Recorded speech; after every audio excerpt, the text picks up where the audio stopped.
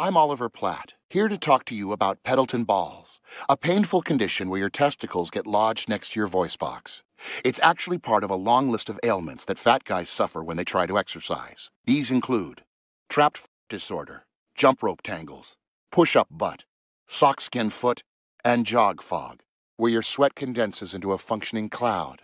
But don't worry, with the help of gravity, Pendleton balls will clear itself. While you're waiting, check out my 1993 medium hit, The Three Musketeers, because I only do movies with titles that are also candy bars.